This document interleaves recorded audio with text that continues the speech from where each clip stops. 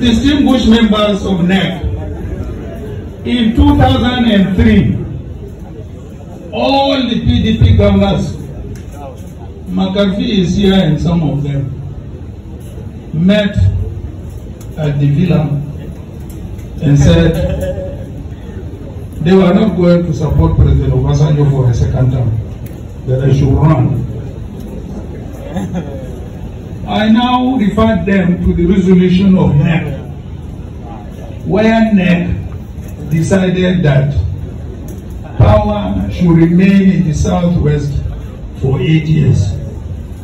How do you now want me to go against that resolution of NEC? And I turned it down. And we moved on. So, this country has a sense of fairness. This country has a sense of justice. This country has a sense of fairness. Therefore, this thing that is inbuilt in our party, we should be able to use it, to imbibe it, to make sure today's in